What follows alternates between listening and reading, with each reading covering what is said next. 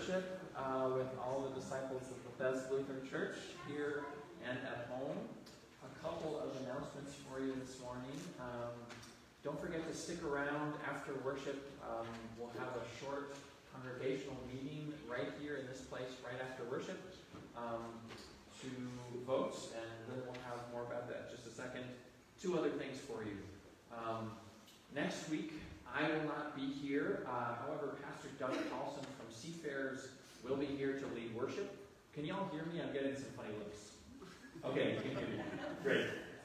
Uh, Pastor Doug Paulson will be here, and Don Brown and Robin Johnson, um, you may know one or both of them, will lead music next week. So that'll be a real treat that I will. I'll be uh, with the confirmation kids with some of them on retreat. And finally, in a week and a half, um, we will have a parents and grandparents night on Wednesday night. That's Wednesday the 28th uh, with Kara Keenan. She spoke last week to talk about mental health and substance abuse. And that's during our normal 6 o'clock to 7.30 confirmation time. Uh, it's also God's Work Our Hands Sunday, so if you see folks wearing these shirts, such as myself, um, that means they're going out to do a project somewhere this afternoon. Um, Lynn, I think you're up first.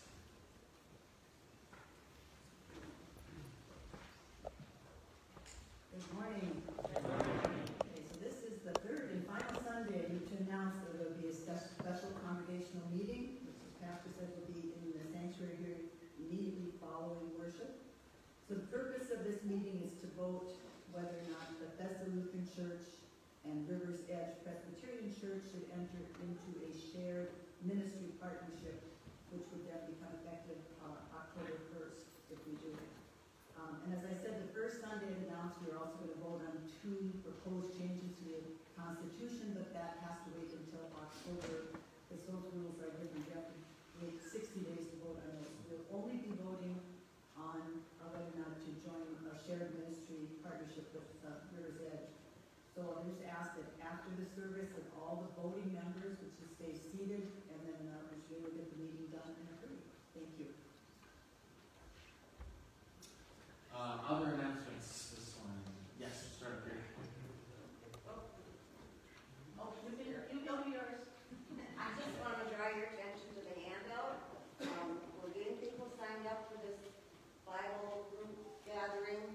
Uh, Look at the page, it's, it's done by David Moses, the author of it, and it just brings us together to talk about Bible. You can bring, we'll read scripture, if you have questions and doubts, it'll be like sitting around the kitchen table as described here to chat about it. And there's no lectures, there'll be a short video presentation with each session.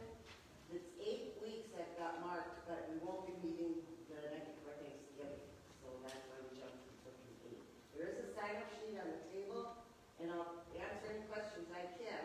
Um, Jimmy abandoned me here a couple weeks before, so I'll answer the best I can for now. But it starts October fifth at six thirty here in Bethesda for couples, for singles, everybody's welcome.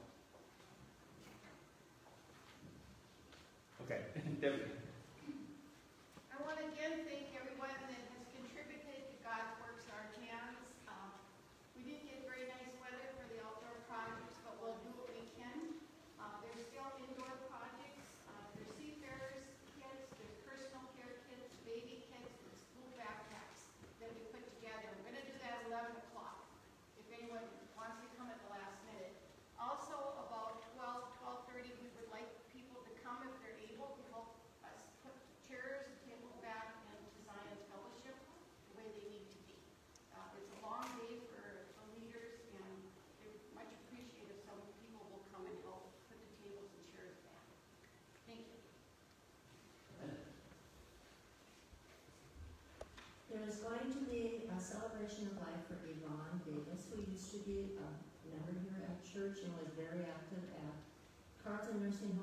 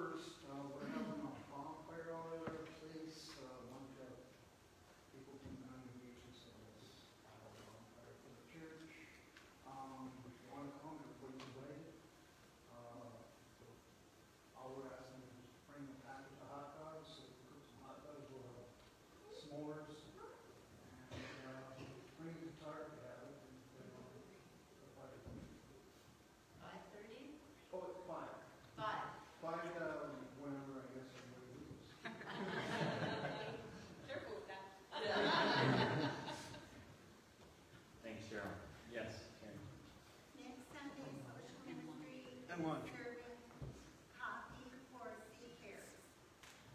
So, um, the money that we collect during coffee will go to them.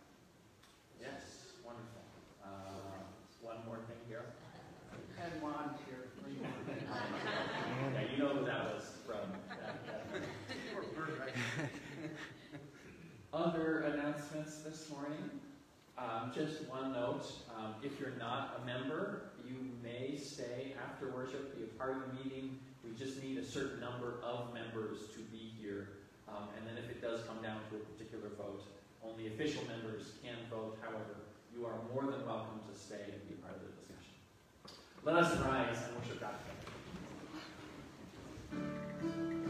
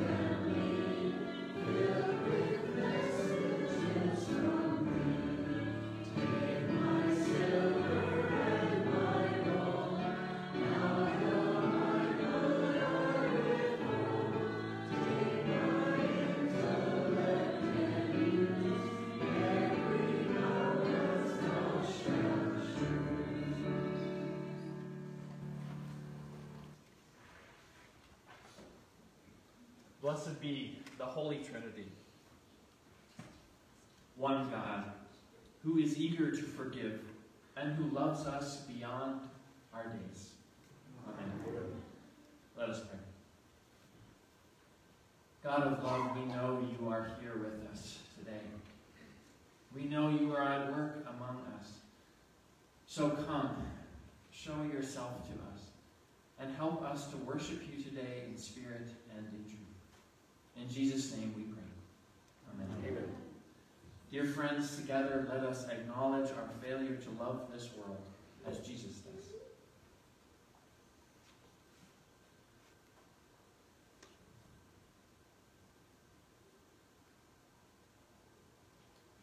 God of mercy and forgiveness, we confess that sin still has a hold on us. We have harmed your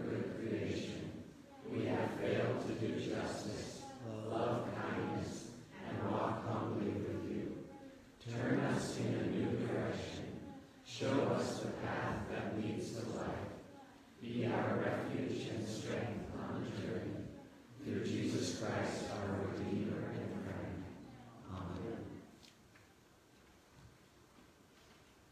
Amen. Children of God, hear the good news. Your sins are forgiven, and you are made whole.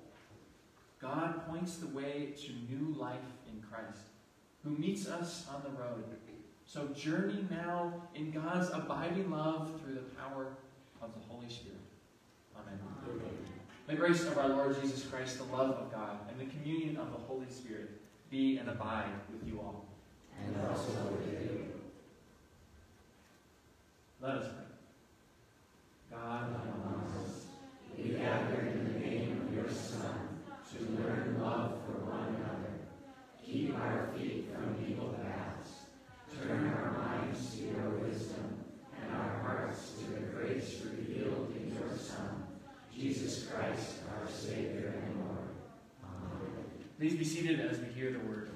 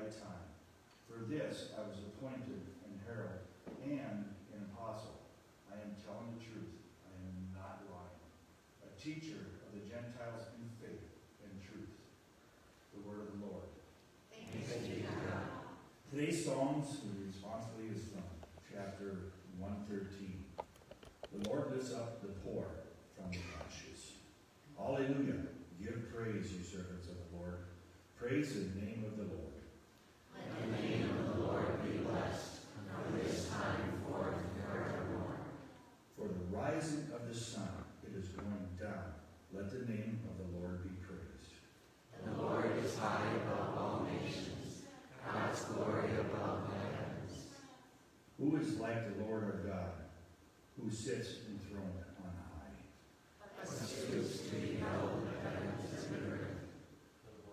The Lord takes up the weak out of the dust and lifts up the poor from the ashes.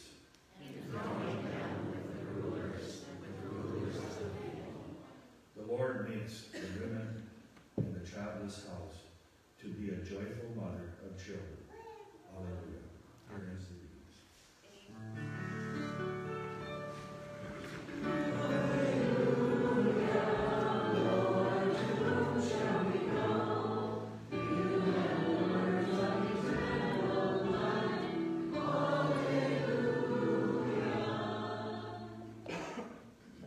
Gospel according to Luke. Glory to you, Lord.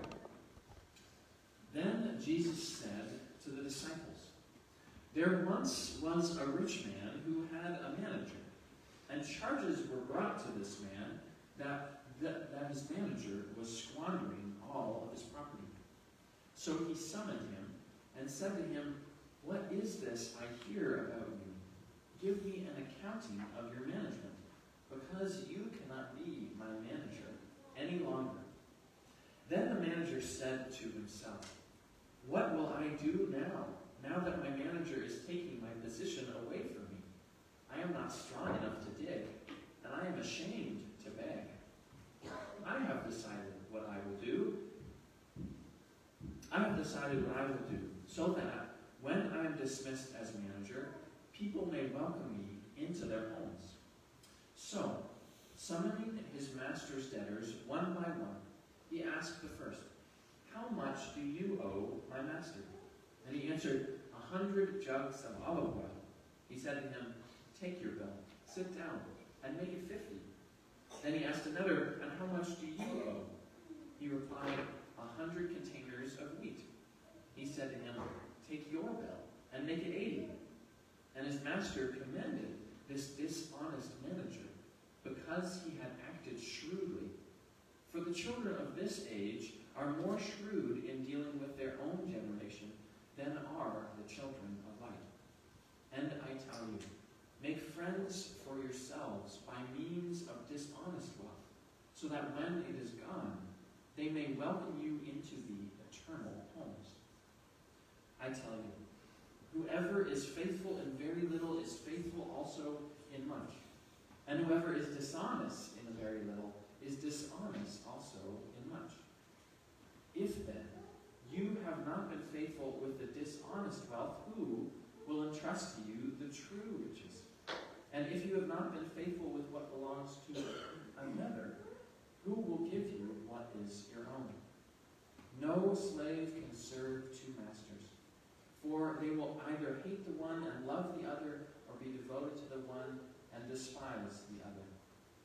You cannot serve both God and wealth. This is the gospel of the Lord. Praise to you, O Christ. Please be seated.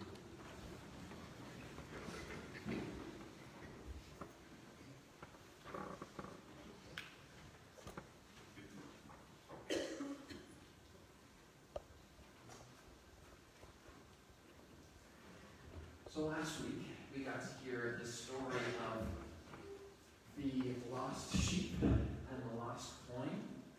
This week, though, I can see in your faces, this is some of, this is one of our favorite parables. Raise your hand if this is your favorite parable in the whole world.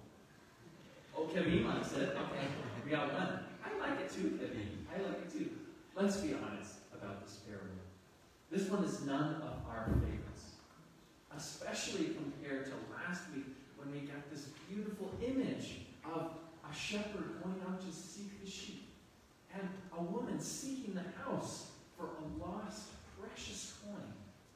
And we can understand and know how God might be like that, sh- that shepherd or that woman. We can understand this, and it's pretty easy to read God into We can read other ways too, of course, but we can see where God is. This parable, though, if we're really honest about it, it kind of offends us a little bit. Like it offends our sensibilities, especially on first hearing. Well, I want to tell you today, I think there are two things about this parable that do offend us on first reading. And I think there is good reason why Jesus tells us this parable. So the first reason that kind of bristles our imaginations a little bit is that Jesus, or this master, seems to be someone who is dishonest. Someone who tricks or doesn't play by the rules. And with this element, it helps us to remember that Jesus wasn't actually commending this man for his dishonesty. It's very possible, and we all know this, to be more than one thing. We all have within us the ability to be both good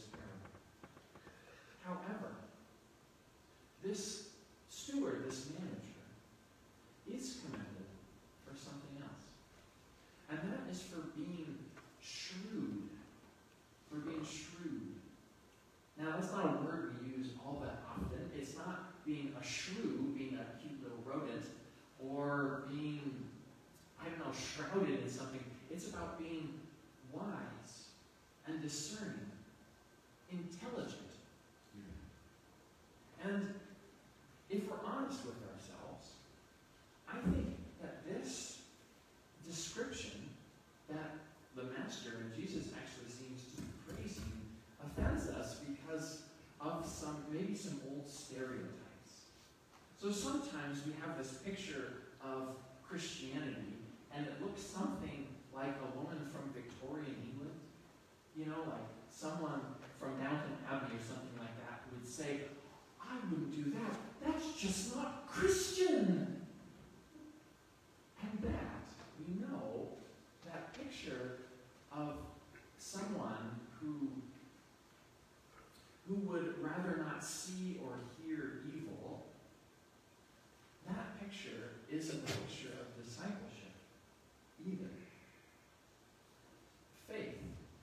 And faithfulness is not the same as being naive. And it's not the same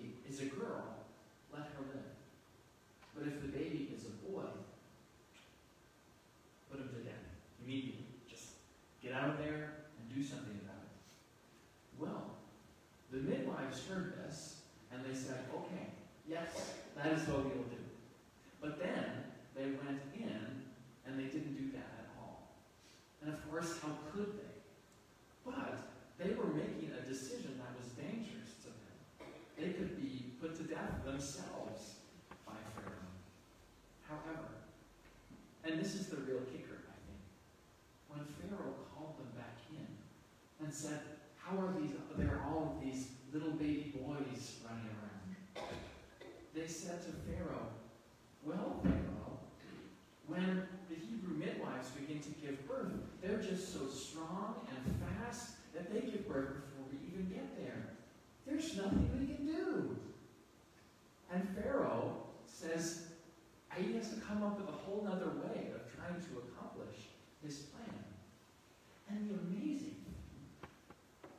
amazing thing is that the writer of Exodus actually tells us that God commended them for their behavior. God commended them for, I think, their shrewdness. Yes, they were dishonest. They did not follow the rules. They did not do what they were told to do. They straight out lied. But God commended them for their shrewdness are doing for being faithful. Okay, I've got another question for you. Does anyone remember what Jesus says is the greatest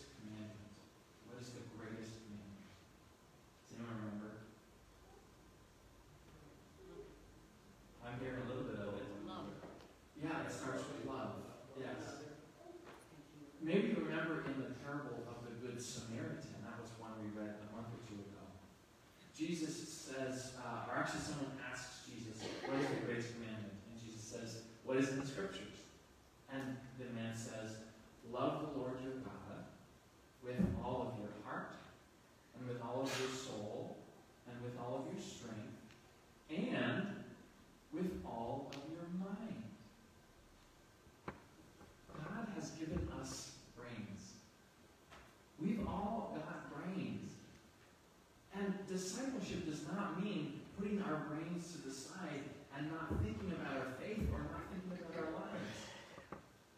Sometimes in Christianity, in pockets of Christianity, or in the history of Christianity, we've been told not to use our brains in one sense or another. We've been told not to study the universe, not to know more about the natural world or about the, stars in the sky or about the history of the universe.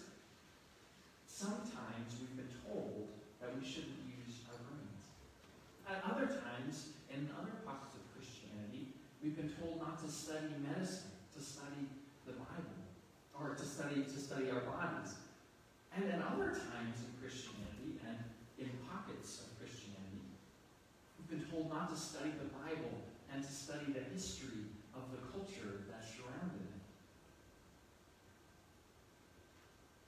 But I think that Jesus wants us to be shrewd because we are called to love God with our heart and with our soul and with our strength and with our mind. And we can do this also to love our neighbor. I wonder, what would it look like in your life for you to be faithfully shrewd and shrewdly faithful? I wonder what it would look like in our everyday lives if we were to follow the picture of a disciple that is both wise and intelligent and mature and willing to take risks and willing to think deeply about how best to love our neighbor. And we can do this as long as we don't forget that one, our brains can be wrong, and two, that only God is God. I've got one last thing to tell you this morning, and then and then I'll sit down. And that is uh, from the Gospel of Luke, the very last thing we read. There were these last three verses here that are really almost a separate piece, and we could spend a whole month talking about just these three verses. I want to read to you again one of these final verses. And that's this. Whoever is faithful in a very little is also faithful in much. And whoever is not faithful in a very little is also not faithful in much. Today's Sunday, today is God's work our hands Sunday. So some of us who are whose bodies allow us to do this are going to go out and do something small. Something small on behalf of our neighbor. Some of us are going to go out this afternoon and maybe rake some leaves, or do some gardening, or help put up a part of a playground. Yes, these are small things. Yet Jesus tells us that actually the small things are where we can make a difference. This week, in your daily life, you probably won't be called on some grand adventure or some humongous task for the sake of the gospel and your neighbor. But you will have small opportunities to make a difference for the people that surround you. You will have opportunities, and you might have to pay attention to be shrewd and thoughtful to see them. But those small opportunities, whether it's in the lunchroom at your middle school, or in your office, or in your home, or when you go to the grocery store, find those little opportunities. Because it's those little opportunities where God's work shows up for us through our hands. We serve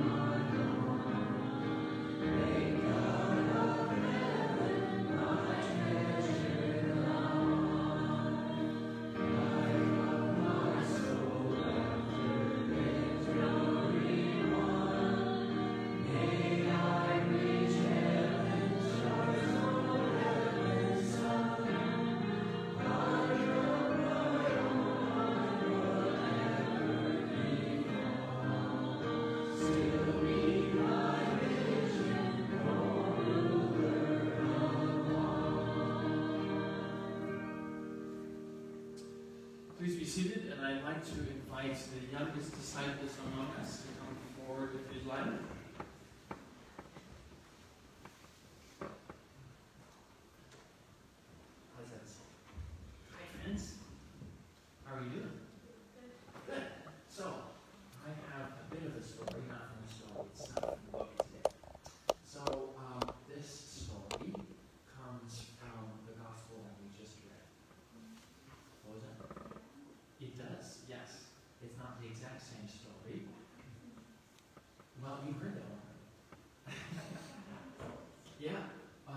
So, Jesus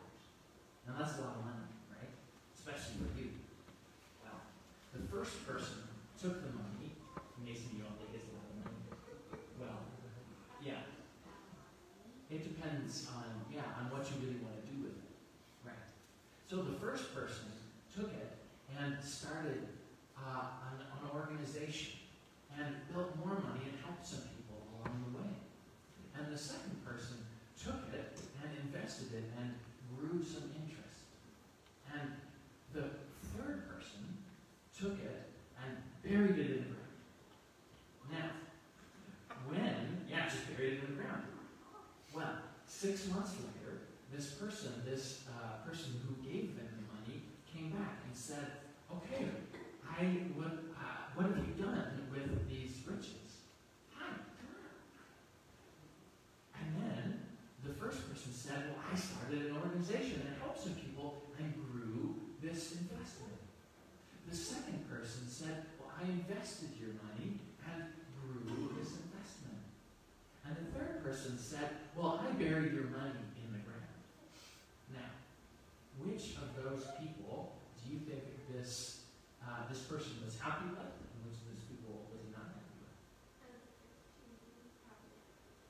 he was pretty happy with the first two people. Yeah, exactly.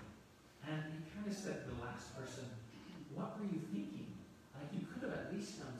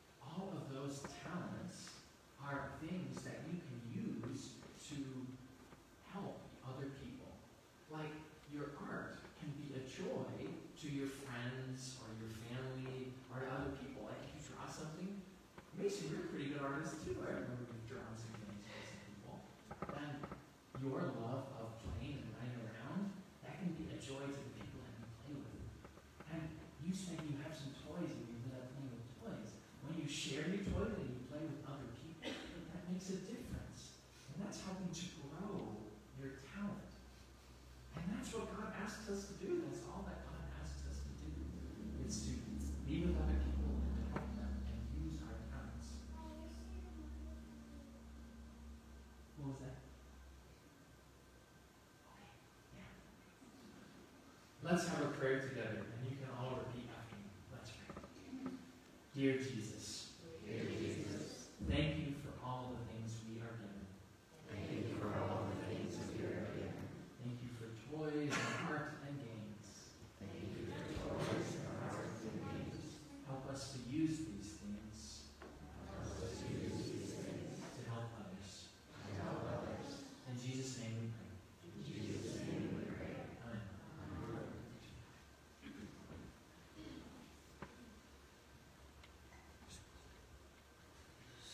Please rise as you are able, and we will confess our faith.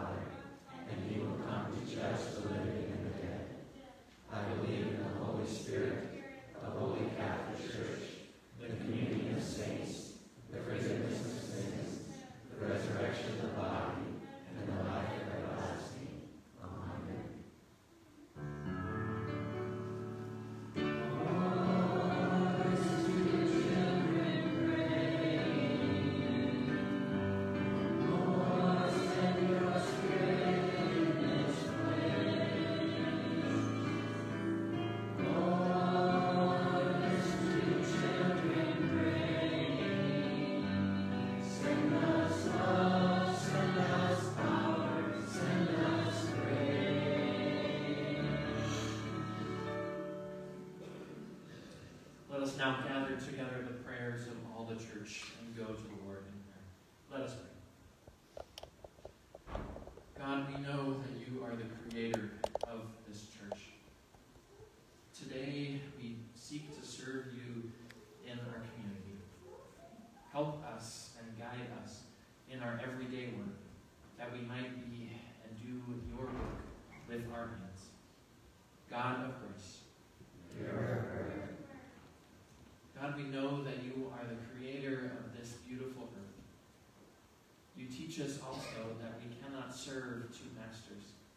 So help us to serve you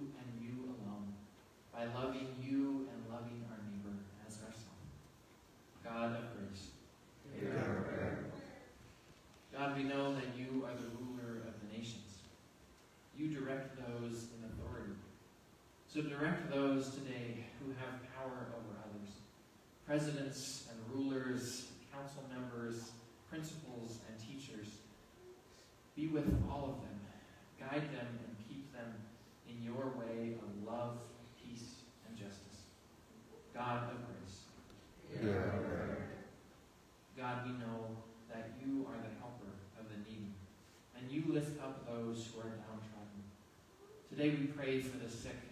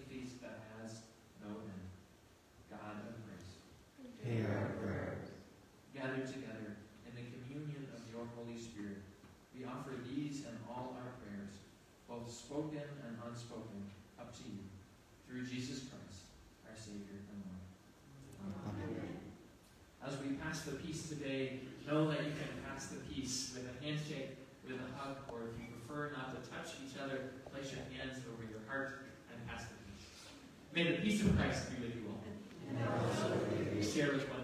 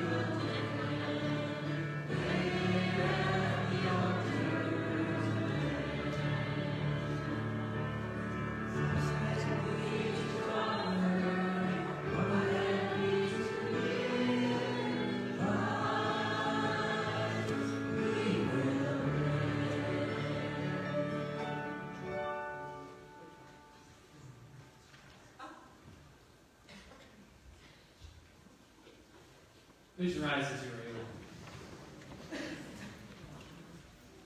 And let us pray. Gracious God, in your great love, you richly provide for our needs. Make of these gifts a banquet of blessing, and make us ready to share with all in need. Through Jesus Christ, who sets the table for all. Amen. As we come to the communion table today, uh, know that you may commune in two ways. If you'd like to commune from your seats, give a wave to someone at the back, and they'll give you a little cup. Uh, otherwise, come forward. Um, the, the bread is all gluten free, and the cup, uh, the purple is wine, and the white is grape juice. Know that all are welcome at this table, members and non members, questioning and fully fledged in faith. For all that is required of us is a heart that desires God. For this table does not belong to us, it belongs to the Lord. So come. The Lord be with you. And also with you. Lift up your hearts. We lift them to the Lord. Let us give thanks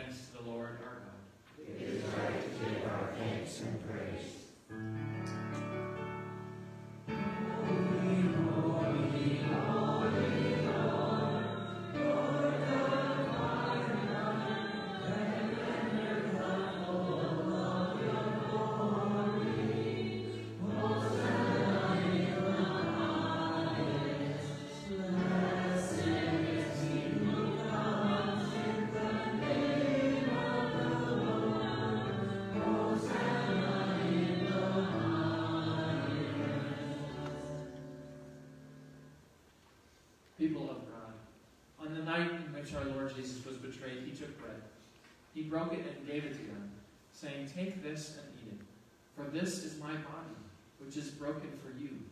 Do this in remembrance of me. Then after supper, Jesus took a cup. He gave it to them and said, Take this and drink it, for this is the cup of the new covenant in my blood, which is for you and for all people for the forgiveness of sins. Do this in remembrance of me.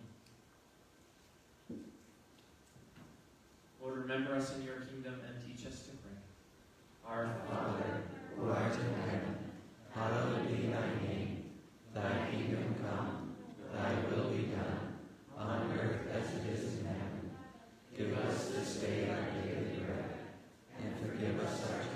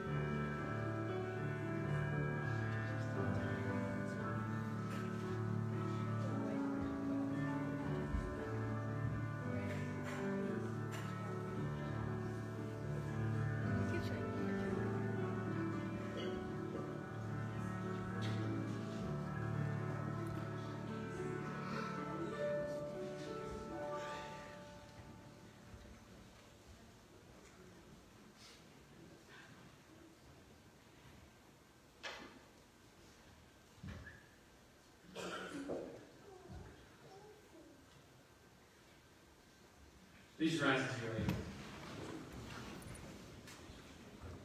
Let us pray. God of the abundant table, You have refreshed our hearts in this meal with the bread for the journey. Give us your grace on the road, that we might serve our neighbors with joy, for the sake of Jesus Christ our Lord. Amen. Children of God, receive this blessing.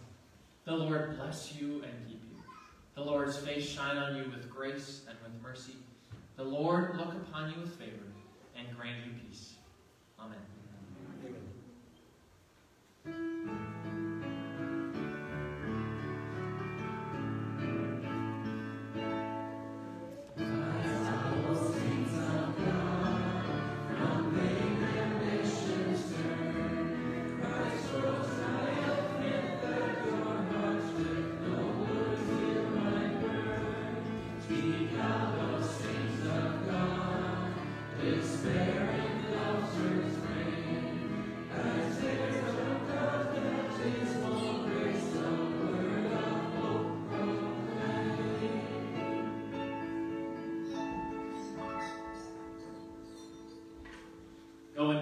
With Christ beside you. Thanks be to God. I'll invite you to have a seat,